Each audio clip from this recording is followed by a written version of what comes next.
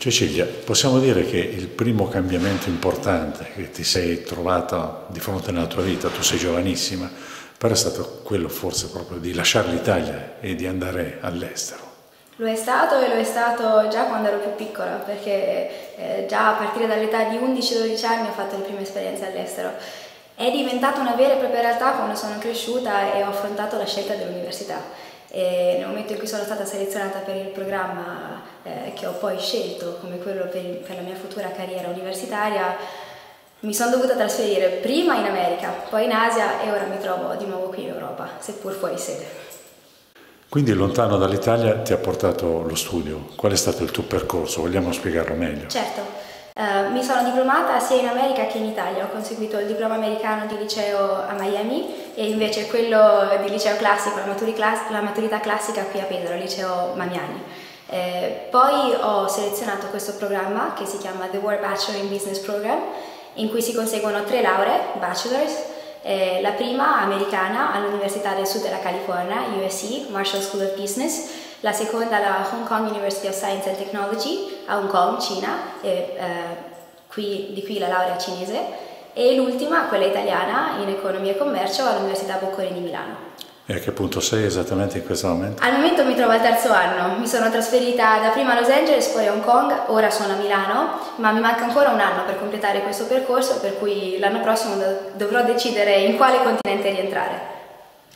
Ecco, ma questo cambiamento, quindi questa tua scelta, è stata solo tua o c'è stata l'impronta eh, della famiglia? Impronta davvero significativa della mia famiglia. I miei sostenitori da sempre sono stati i miei genitori, Daniele e Riccardo, insieme anche i miei fratelli. Io sono una di cinque figli, per cui diciamo il, la convinzione nell'affrontare questo percorso è cresciuta e l'interesse nel farlo è cresciuto anche assieme alla mia famiglia.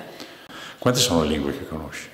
Sono sei lingue moderne e ho studiato anche ovviamente il greco antico e il latino al liceo. E diciamo che le lingue sono sempre state un po' il mio grande interesse, la mia grande passione sin da piccola, eh, per cui a, a parte l'italiano e l'inglese, che ho sicuramente studiato ed approfondito davvero bene anche grazie alla laurea, ho eh, da sempre studiato il francese, lo spagnolo e da ultimo anche il cinese, il mandarino e il cantonese. Senti Cecilia, ma tu ti consideri un cervello in fuga? no. dal nostro paese? Assolutamente, anzi il motivo per cui ho scelto questo percorso è che oltre a lasciarmi, a, darmi la possibilità, a darmi modo di andare all'estero, mi consente anche di rientrare nel mio paese e il mio obiettivo futuro è quello di costruire qualcosa che mi porti a migliorare questo paese, per cui la mia carriera non sarà improntata sul rimanere all'estero, ma sull'operare qui in Italia. Nella tua esperienza di studio però ci sono anche esperienze lavorative.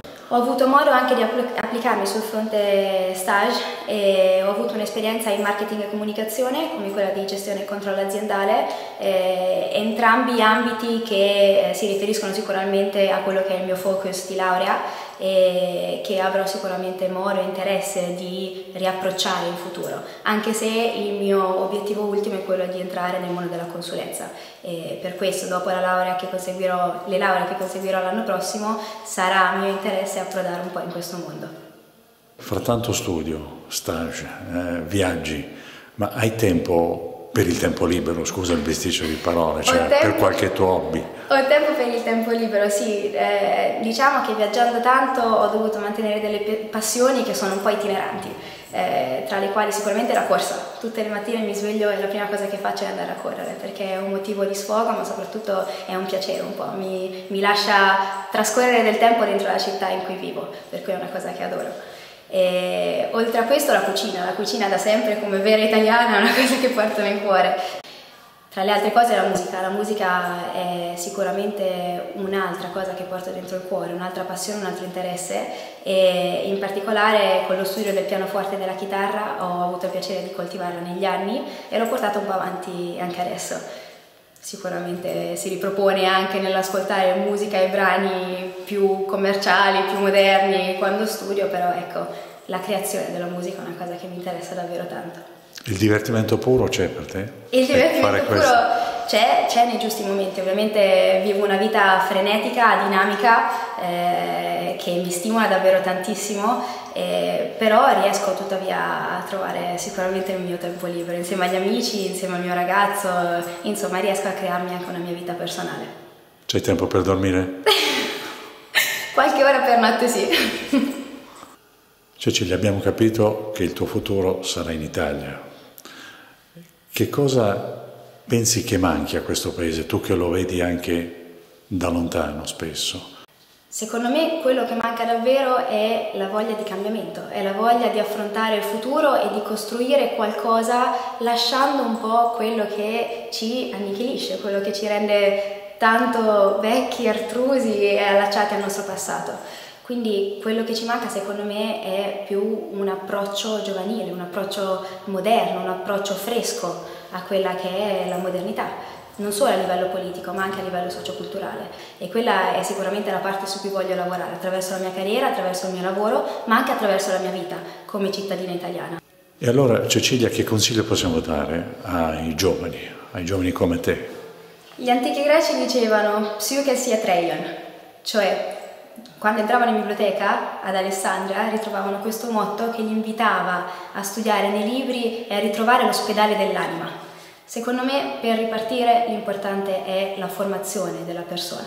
Insomma, secondo me il cambiamento vero che deve avvenire è quello che dall'ezzos personale, dalla persona, si trasmette verso l'esterno. Per cui questi giovani che studiano oggi, che apprendono fatti non solo antichi, ma che possono essere riferiti e riportati alla realtà, alla modernità, potranno poi avere un approccio diverso rispetto a quello passato, per cui affrontare anche tematiche sicuramente molto più moderne, però importanti, in un modo un pochino più rivoluzionario, un pochino più realistico soprattutto.